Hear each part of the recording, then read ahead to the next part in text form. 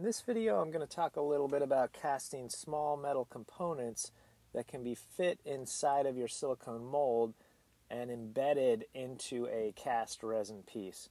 This is one of the figures from my Cloud Spirit series. I decided to cast the lightning bolts in metal just to make it a little bit less fragile. The first thing I did was sculpt the lightning bolts out of uh, Magic Sculpt. It's a two-part epoxy after it hardens, I go in with an X-Acto knife and cut some texture into it. Uh, the idea here is to give it a, a texture that kind of looks like it's a hammered metal. Then I take molds of the lightning bolts. I'm using a platinum silicone which is specifically designed to handle high temperatures. This particular silicone can handle up to 5 600 degrees.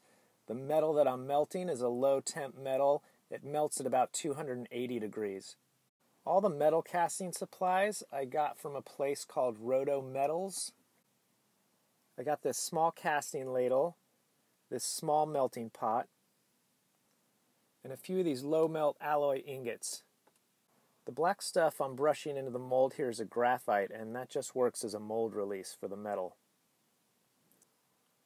So I melt the metal, skim the slag off the top a little bit, pour that into the ladle, and then ladle the metal into the mold.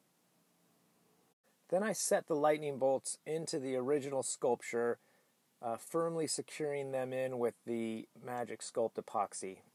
The clay I'm using for the sculpture is Super Sculpey. It's a soft polymer clay uh, that you can bake in the oven.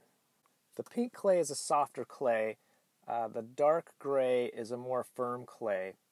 Generally, I'll block out the sculpt in the soft clay and then bake that and then come back and sculpt the firm clay on top.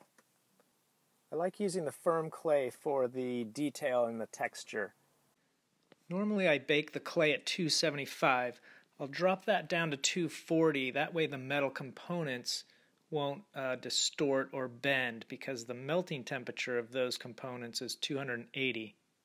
The big eye bolt that I screw into the back of the piece just gives me a handle to hold so I don't have to worry about uh, smudging the surface of the sculpture while I'm sculpting it. So in the next video I will show how I create the mold for this piece. The plan is that the mold will have little slots that the cast lightning bolts will fit into.